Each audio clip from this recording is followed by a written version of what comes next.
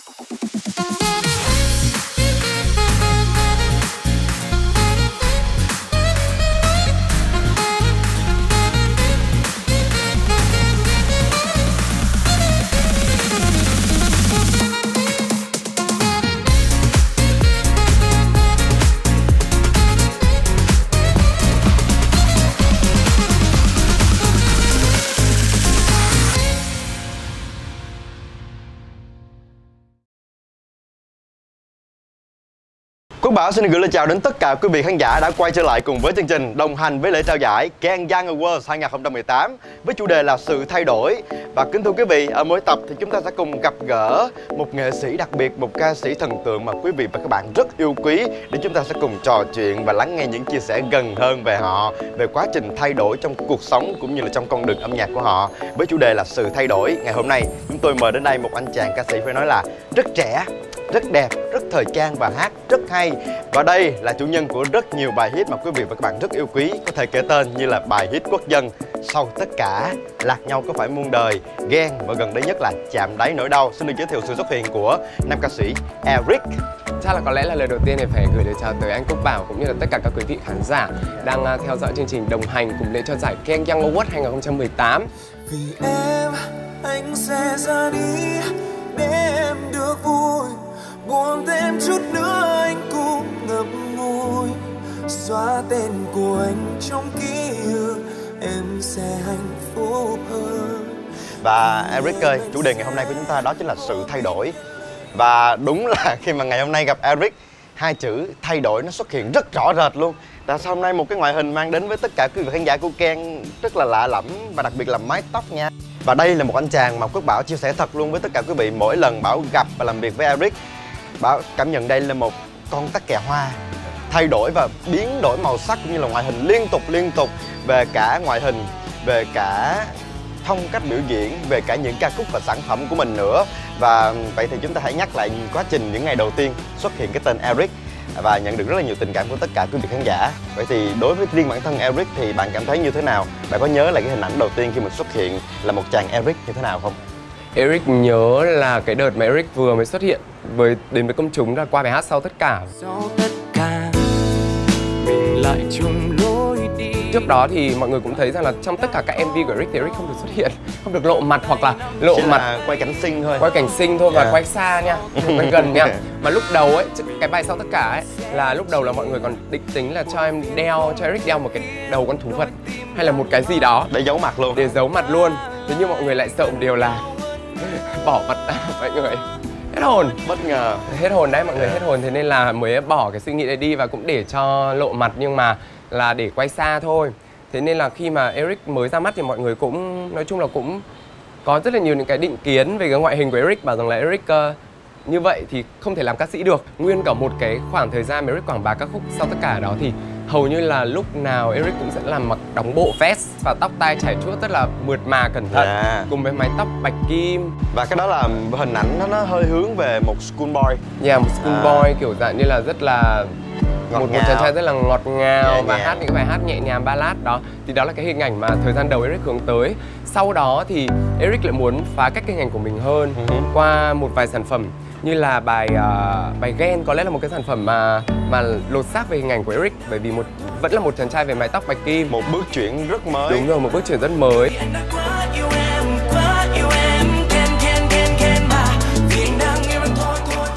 Không còn là kiểu nhẹ nhàng nữa mà là một chàng trai kiểu ghen tuông ghen bóng ghen gió ghen lông ghen lộn ngầu lên. hơn chút xíu cool hơn chút xíu nhưng mà nó vẫn mang một cái nét gì đó nó trẻ con ở trong đó bởi vì Đúng đấy thì thật ra là Eric mới 10 18 tuổi rưỡi thì phải 18 tuổi rưỡi. 18 tuổi rưỡi đấy.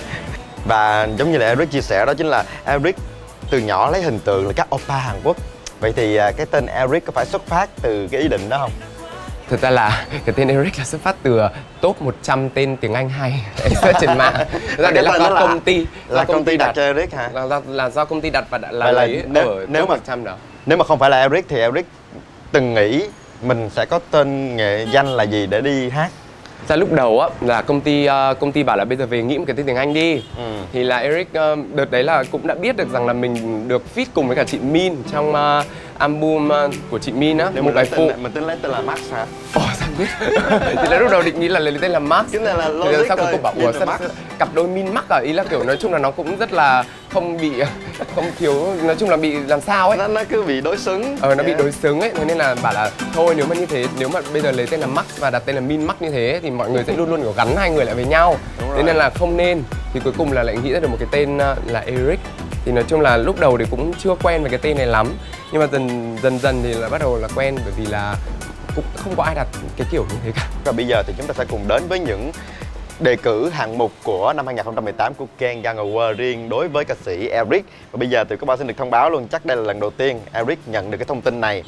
Trong năm nay, trong lễ trao giải Ken đẹp. Award 2018 thì Eric sẽ nhận được đề cử ở hai hạng mục. Wow. Hạng mục đầu tiên đó chính là nam ca sĩ được yêu thích nhất. Wow Và hạng mục thứ hai là ca khúc pop hay nhất.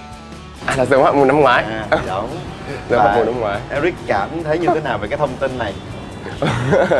Ờ, Sao cười? Không, năm nay là có một cái sự thay đổi ờ, lớn hơn mà có lẽ là Eric thấy rằng là đó là một sự có lẽ là được mọi người và được ờ, lễ trao giải Ken công nhận. Có lẽ là bởi vì là Eric được lọt vào danh sách nam ca sĩ được yêu thích nhất. Wow. Năm ngoái hình như là không được. Năm ngoái hình như là không được bởi vì là có lẽ là năm ngoái ờ, nó chưa thực sự là được mọi người ừm, chú ý nhiều nhưng mà có lẽ là đến năm nay nếu khi mà đã được vào cái danh sách này rồi thì mình đã bỏ rằng công là sức rồi và mọi người thấy được cái rồi điều mọi người đã mình. thấy được điều đó và để mà lọt được vào đề cử này thì chắc chắn là cũng đã phải qua rất là nhiều khâu, qua rất là nhiều khâu và Eric nghĩ là giám khảo họ cũng rất là uy tín. Thế nên là thật sự là Eric phải cảm ơn tình cảm của tất cả mọi người rất là nhiều vì đã dành cho Eric để Eric có được ờ, đề cử trong hạng mục này uh, các CC ơi và tất cả mọi người kể cả là không phải là CC uh, ờ, mọi người hãy cùng vote cho Eric ở hai hạng mục đó là ca khúc pop được yêu thích nhất cũng như là uh, hạng mục nam ca sĩ được yêu thích nhất trong lễ trao giải Ken Young Award 2018 để Eric có thể được uh, uh, được uh, súng xính áo quần lên nhận giải uh, đẹp nha mọi người.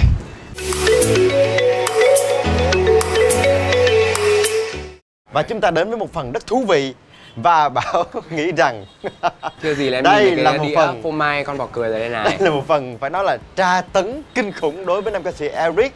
Vì anh ấy đang trong quá trình giảm cân thưa quý vị và các bạn. Và chúng ta sẽ cùng đến với phần câu hỏi nhanh. Em, em vậy luôn hả? Em kêu em không thích phô mai mà em có thể làm nhắc anh cái điều đó luôn hả? Em yên tâm đi phô mai là không bao giờ thiếu nha. Ừ. ok rồi. Chúng ta chuẩn bị nha sẵn sàng nha. Đọc rất nhanh á. Eric tập trung nè trong năm 2018 vừa qua Eric ra mắt bao nhiêu ca khúc Um, bốn ca khúc. rồi chính xác một câu MV nào của Eric được nhiều view nhất hiện tại con số là khoảng bao nhiêu Chạm đời đòi đau 119 lượt 100 triệu 9 triệu lượt view.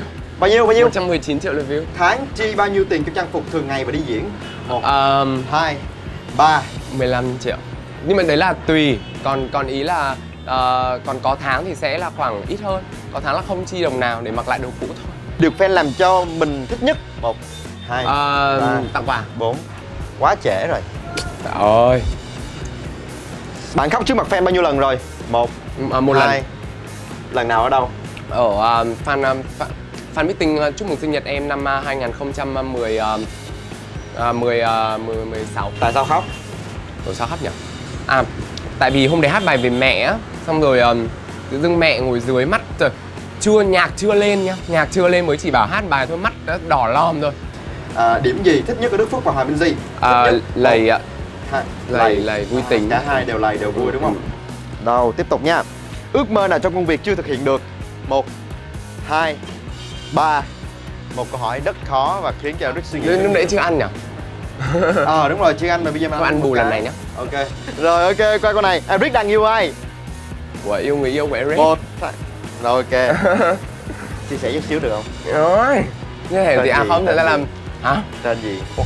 Chữ chữ cái đầu tiên là gì? Không. À, thật ra là à, một người đây là cũng là một người ý thật ra là cũng không biết là có đang là- ờ, trong ờ, à không không. Thật ra là là người yêu nhưng mà ý chính thức là rồi đúng không? Ừ, nhưng bao mà lâu không rồi? ờ, bao lâu rồi? em cũng được khoảng ờ, hơn một, năm rưỡi rồi ạ. Một năm rưỡi rồi. Đây cũng là một người bạn th- thân. Có trong giới không? Không. Không có làm một người bình thường mà không ai biết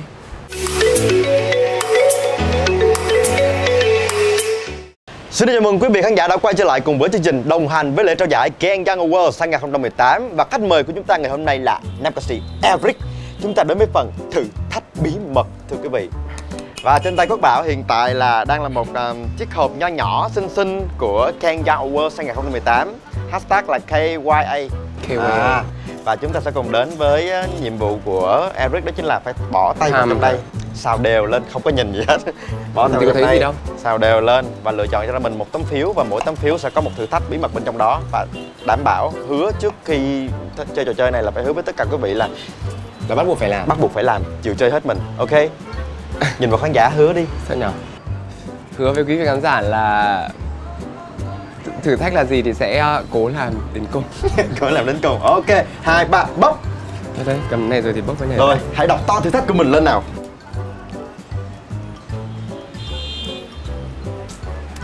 sao cười? Đọc lên. Thể hiện năm giọng điệu cười khác nhau á. Cười đầu tiên sảng khoái.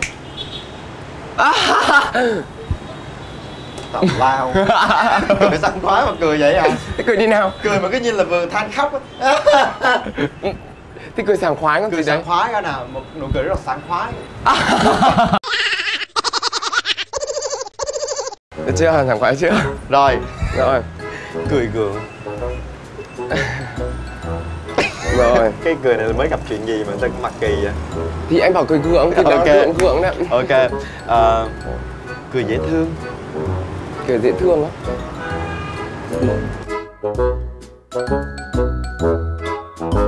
Rồi. Dễ thương thiệt. Rồi. rồi. À, cười đểu. Cười đều à? Nhìn thẳng vào ống kính. Rồi. Nhìn mặt thấy ghét ha. Không, Rồi, thế còn- mới đều chứ. còn cái nữa. Cười ờ, vô thức cười điên dại thức cười đi ừ, như một người điên Nhưng hai ba vô. Cười như nào nhỉ? cười cười giống, như một Cười, người. cười điên dại à? ờ cười điên dại. Cười vô thức. Thì anh ngồi lên cười thấy con gì nữa Em được rồi, hết chưa? sau khi cái phần rồi thể hiện cái bị khả năng biểu cảm cơ mặt như diễn xuất của em á anh thấy là em chọn nghề ca sĩ là nghề hợp lý đừng đóng phim thử thách thứ hai sẽ là Bịt mũi và hát ca khúc mình chia tay đi. Ok rất là thú vị. Và Đang bị viêm xoang này. khúc mà mọi người rất yêu quý cái gì Ok, cái gì? em bị xoang Nhưng mà không sao. Rồi và ngay bây giờ thì xin mời tất cả quý vị khán giả đang theo dõi chương trình đồng hành cùng Ken Young Awards 2018 Chúng ta sẽ đến với phiên bản Mình chia tay đi của nam ca sĩ Eric. Phiên bản bịt mũi 2, 3, vô.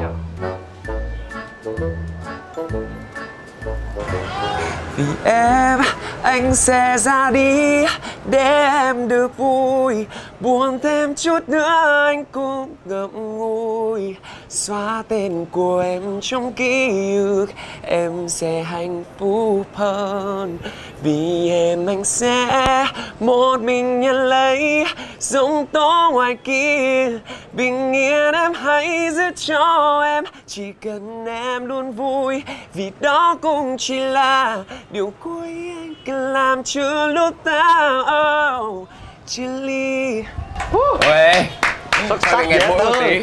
Và một lần nữa thì xin cảm ơn Eric rất là nhiều về sự nhiệt tình và thời gian trong ngày hôm nay đến đây để chia sẻ rất nhiều câu chuyện về sự thay đổi về bản thân của mình, về con đường âm nhạc của mình và đã chịu chơi hết mình. Nhận thử thách là chơi liền và không có ngại gì hết và xin được cảm ơn rất là nhiều và trước khi chia tay với tất cả quý vị khán giả của Ken Award 2018 và chúng ta chuẩn bị đến với cái đêm rất là đặc biệt đó chính là đêm trao giải thì Eric có muốn gửi lời nào đến tất cả quý vị không ạ? À? Thực ra là Eric cũng Ừ, mong cái sự hết mình này của mình trong ngày hôm nay thì cũng sẽ được à, đền đáp một chút trong lễ trao giải đó. Thì à, cũng rất mong, mà để để có được cái à, cái điều đó thì chắc chắn là sẽ phải nhờ vào tình cảm của tất cả quý vị khán giả rất là nhiều. Thì Eric rất mong rằng là mọi người sẽ có thể cổ vũ và vote cho Eric trong các hạng mục mà Eric được đề cử. Còn đâu là tất cả những hạng mục khác thì mong rằng là mọi người cũng sẽ ủng hộ để có thể tìm ra được một cái gương mặt, gọi là gọi là chính xác và cũng như là uh, phù hợp nhất cho giải thưởng đó và mong rằng là mọi người sẽ có chính mọi người những cái lá vote của mọi người là những cái điều mà công tâm nhất. Mary nghĩ rằng là uh, đó cũng chính là những cái điều mà phản ánh được ờ, sự cổ vũ tất cả quý vị khán giả và tình cảm của quý vị khán giả. Dạ và chắc chắn rồi. Và kính thưa quý vị và các bạn Ngày hôm nay chúng ta có một buổi trò chuyện rất thú vị với nam ca sĩ Eric. Và hy vọng rằng mọi người luôn luôn dành tình cảm cho nam ca sĩ Eric Cũng như là tất cả những nghệ sĩ ở các hạng mục khác Của lễ trao giải Ken Young Award 2018 Và thời gian ngày hôm nay đến đây là hết rồi. Và Quốc Bảo và Eric xin được gửi lời chào Và hẹn gặp lại tất cả quý vị và các bạn trong đêm trao giải Ken Young Award 2018 Bye bye